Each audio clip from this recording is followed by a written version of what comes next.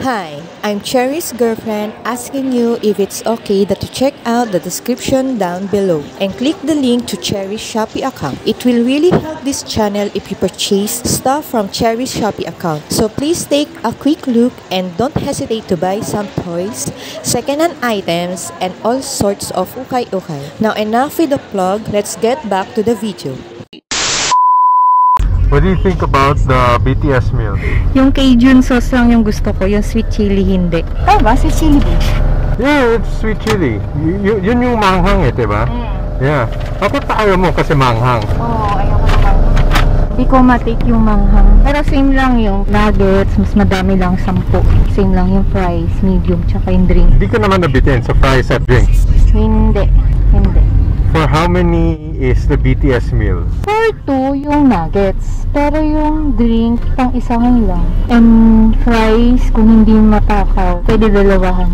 Uh, sabihin ba natin? Na ano? Ginawa natin, yung discard natin. Ikaw,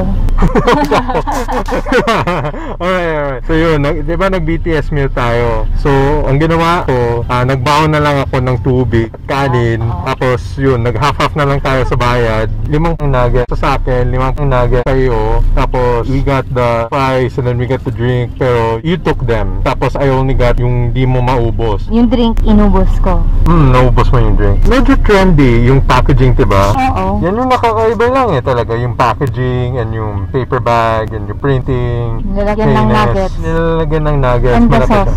Oh, the sauce. That's it. Is it worth the hype? Para sa mga fans, oo naman. Okay, para sa regular Yeah. customers, would you pay 250 plus pesos for all that? Okay lang. Mas Okay. marami naman yung nuggets. 260 na nga lang siya nung umpisa. Alam ko 270 yun. eh. Nung una 270, tapos Oo, naging 260. 60. Nagmura siya ng 10 pesos.